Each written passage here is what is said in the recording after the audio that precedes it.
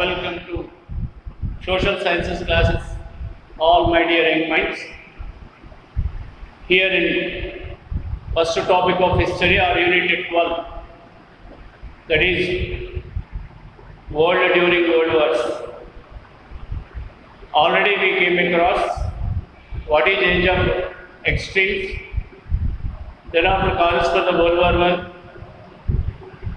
and now we are going to come across aftermath things related to World War One. What happened after World War One? Two important aspects in this video you are going to come across are one is Treaty of Versailles and other is League of Nations, the first international peace keeping body formed after World War One to protect the world peace. So, here now we are going to start with the Treaty of Versailles. Already I mentioned you in previous video, treaty, pact or an accord, ACCORD accord. These things mean same, an agreement.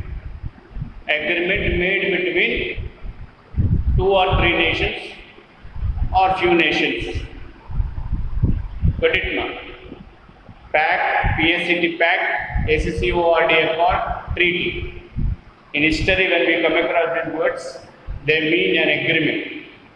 That diplomatic agreement made between countries is called a treaty. Here, who made an agreement with whom? And what is Versailles? Versailles is nothing but a suburb of Paris, means a suburban area lying in the outskirts of Paris. There existed a mirrored palace which was made uh, before French first French Revolution. Before first French Revolution, 1789, they it, it was made a mirrored palace, which is a royal palace. In that palace, which is located in Versailles, a suburb of Paris city, capital of France, an agreement was signed. Between whom this agreement was signed? It got signed between the winners in the World War Allied powers and the losers. Of course, only Germany was made a, a ruler, uh, a cause for a cause for World War One on behalf of Central Powers. And huge compensation it was forced to pay. What way it was? What are the conditions that were imposed in Treaty of Versailles we are going to see. Treaty of Versailles got signed on 28th June 1919, 1919. 28th June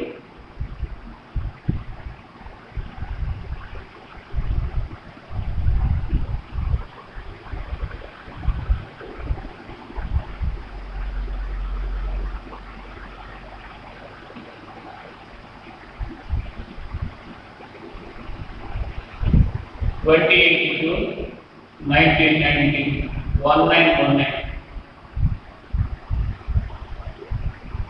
Treaty of Versailles was signed. Actually, before this only, there was a conference held in 1919 on 18th January, just 10 months, uh, 6 months or 10 days before, at Paris only. On 11th November 1918, World War came to an end because Germany surrendered itself to the Allied powers. Being the leader of Central Power, Germany was made to pay the huge compensation. Compensation is something we pay for make causing a loss to someone. Allied powers claimed that because of your aggressive attitude only, World War One occurred. That's why you are major responsible for because of you only Austria, Hungary, Turkey, they all got some strength and they came into the war and they caused also destruction to weak countries. So you have to pay the compensation was the condition made against Germany. Germany accepted and it signed an armistice. That is, it accepted that whatever the conditions are going to be imposed upon it, it will be obeying to that and uh, accepting that it signed as uh, accepting that it signed an armistice on 11th November 1918. With that, World War One came to an end, and the ruler of Germany, Kaiser William, ran away, escaped. Who is a cause for World War One or aggressive attitude of Germany?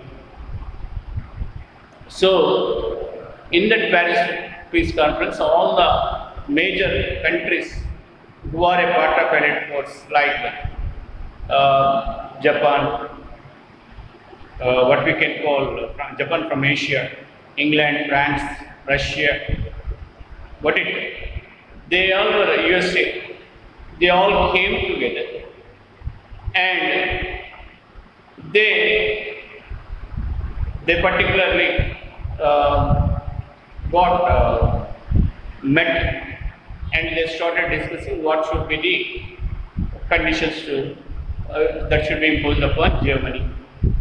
And uh, in that condition, they mentioned all those countries who are at the back of Germany, who are a cause for this World War I. They all should be given a good treatment, or they all should be forced to pay the compensation to victorious allied powers. The members of central, central powers like Turkey, Austria, that's uh, Austro, Austro-Hungarian Empire was there, and uh, Germany. Therefore, they were forced to pay huge compensation, and uh, Germany's areas what are what it got united under the leadership of Otto von Bismarck. They should be taken off, and uh, whatever the resources are there, that the elite powers who gets control of that particular region can enjoy the or exploit that particular resources to their economic benefit. this These, these discussions were there and even Woodrow Wilson was there, the President of America, who took part in this particular Paris conference which was held on 18th January 1919. It is called Paris Peace Conference. Exactly after 6 months to 10, 10 days, whatever the, whatever the things they discussed, there in Paris Peace Conference, they were formulated into one treaty, and that treaty was signed at a place called Versailles. What are they? They are they are territorial arrangements are there. Territorial what agreement consists is territorial arrangements. Military military sanctions, economic sanctions,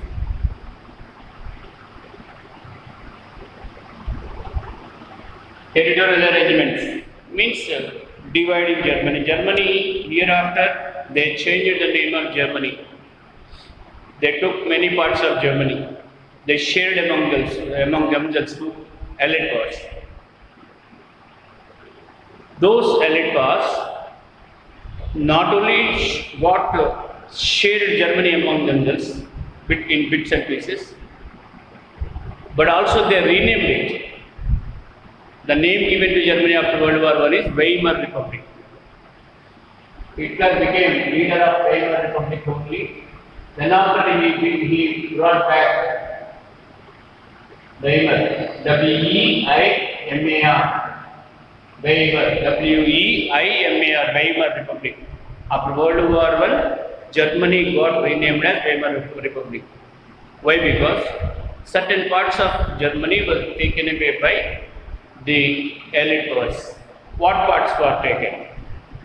Already I said you, according to Treaty of Frankfurt, Germany took away two key places, economically key places of France called Alsace and Lorraine. What are those places? Alsace, A-L-S-A-C-E and Lorraine.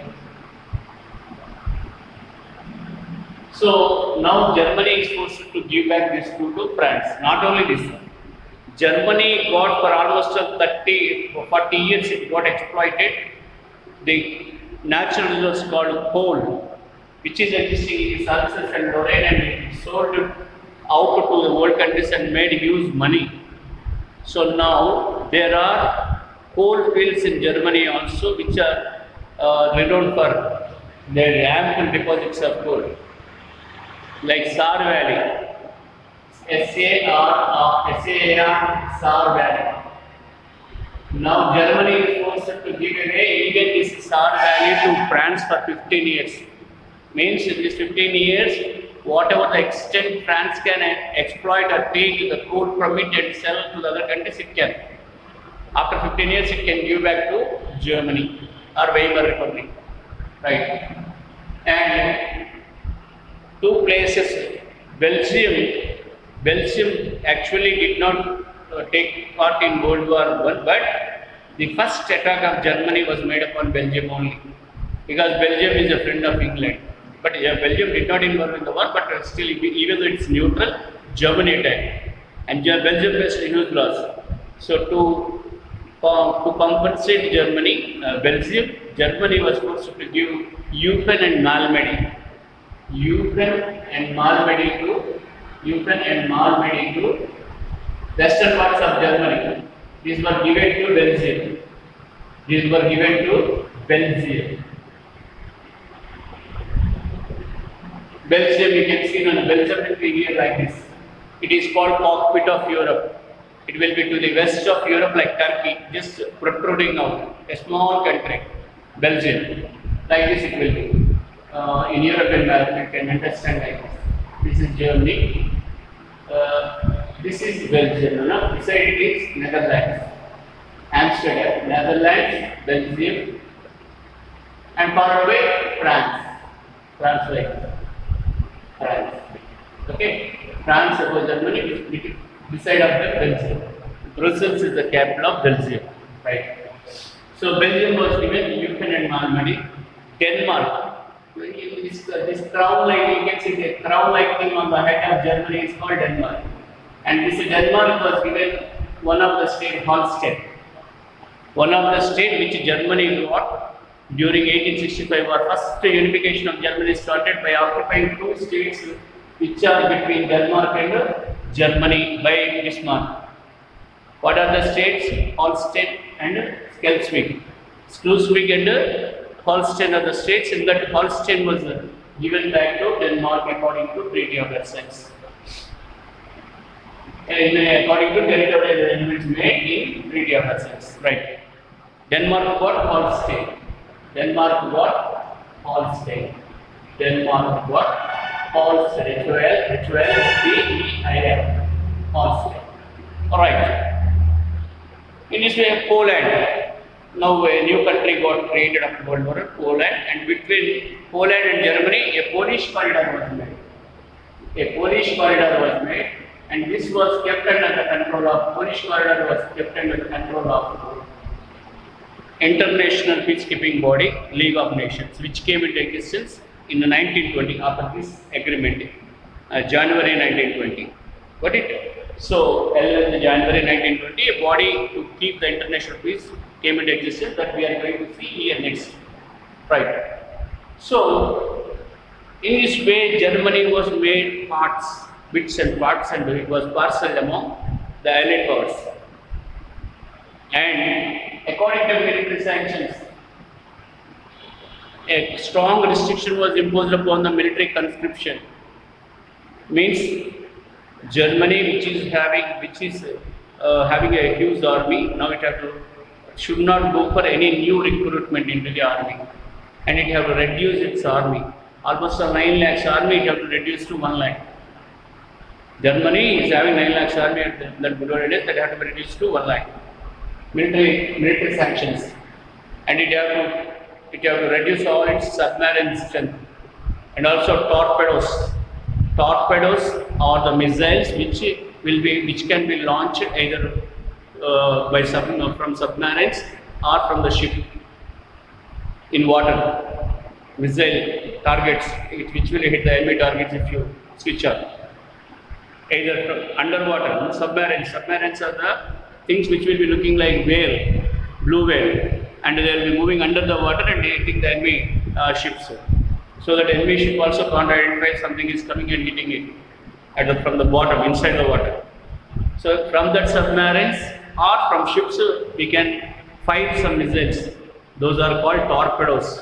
And torpedo strength and uh, submarine strength should not increase more than should not be more than dozen. That uh, it is having hundreds of uh, submarines and torpedoes. So that was the military restriction I imposed upon Germany according to Treaty of Versailles. And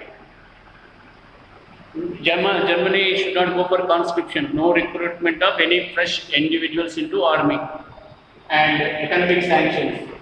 Whatever the Germany will be now called as Weimar Republic, according to economic sanctions, it will be called as a Weimar Republic and it will have to pay all the war loss what elite powers faced because of World War I. Till it pays that war loss, the army of the army of elite powers will be stationed at one place called Rhine Rhine Valley in Germany. Rhine Valley here, south south eastern part of Germany, Rhine River is there. They Valley is there. There the army will be. Whose army? Elite powers army. If any point of time Germany any year it is not going to pay any money which is which it is supposed to pay as compensation, immediately the army will attack and occupy this Weimar Republic. It will lost its northern parts, western parts, and so on. Left, leftover thing is called as Weimar Republic. The name was given to this remaining remained eastern part as Polish corridor. So the remaining area is named as Weimar Republic, and Weimar Republic faced many problems uh, because of not having a uh, solid political authority and ultimately it gave birth to emergence of one of the greatest dictators in the world that is Mr. Adolf Hitler which, about whom we are going to read at the end of the lesson right these are, these are the three important topics related to Treaty of Versailles. Treaty of Versailles was signed on 28 June 1990 and uh, it consists of three, uh, three types of conditions, territorial arrangements, military sanctions, economic sanctions. According to territorial arrangements, certain places of Germany were uh, taken, uh, taken away by the Allied powers. Alsace and Lorraine, which Germany got according to Treaty of Frankfurt in 1870, that was given back, the two places were given back to France. And as it, Germany got exploited, Alsace, uh, coal, uh, coal deposits in Alsace and Lorraine for 44 years that means from 1870 to 1914 before starting of World War, that all to compensate that France was also given Saar Valley which is also rich in deposits of coal and also Eupen and Malmedy were given to Belgium. Belgium who suffered in the hands of Germany for no reason and she got advantage of two places, Eupen and Malmedy. Denmark was given a state called Holstein, which were, it lost to Germany in 1865 during Germany unification by Mr. Otto Bismarck. And Poland were the Poland, a separate country, eastern part of Germany was divided and made into Poland, and also certain part was named as Polish corridor and kept under the control of League of Nations. That are the territorial arrangements. And coming to the military sanctions, already I said you, Germany should not Germany should not take up Germany should not take up conscription means it should not recruit any single soldier. At the same time, it should it, it have to reduce its army. Uh, that is, it is having nine lakhs or something like that, and one lakh it have to make its army, and uh, it should uh, reduce all its uh, naval strength. That is, whatever submarines, hundreds of submarines, if you have to dismantle them. Only dozen submarines and uh, torpedoes put together it should have. Torpedoes are the missile carrying missiles which are used on sea waters or uh, river waters uh, to attack the enemy ship or enemy submarine and so on. Right. Economic sanctions. According to economic sanctions, Germany's name got changed. It is called now as Weimar Republic. And uh, apart from that, Germany was made to pay all the war loss which uh, which was uh, which was faced by uh, the Allied powers and for May to put a check upon Germany, Allied powers stationed their army in the Rhine Valley uh, so that uh, Germany every year will pay the compensation what is said in according to, uh, in Treaty of Versailles. This is about Treaty of Versailles. In next video, we will be coming across League of Nations. Then after aims of League of Nations, then after we will be coming across